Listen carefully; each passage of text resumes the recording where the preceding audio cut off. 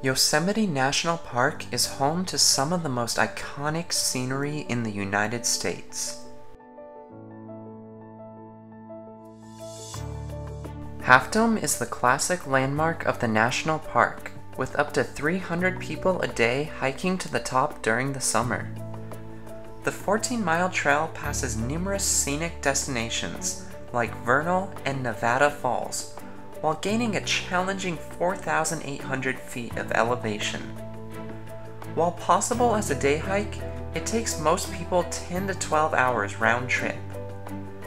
If you have climbing gear, you can avoid the permit system by going during the off season, when the cables are down. The cables are actually still there, but the poles holding them up at handrail height are gone, meaning you'll need a harness and prusik cord to safely ascend. You first reach Subdome, which might be covered in snow depending on when you go.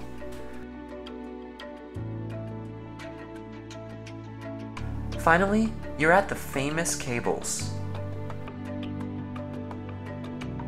The cables ascend 400 feet to the top of Half Dome. The views from the top of Half Dome are unrivaled. The sheer cliff and impressive valley floor provide plenty of spectacular photo opportunities.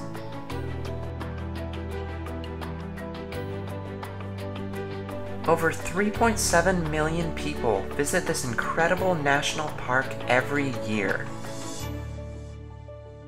Despite only being 7 square miles, Yosemite Valley is truly home to some of the most scenic views in the United States.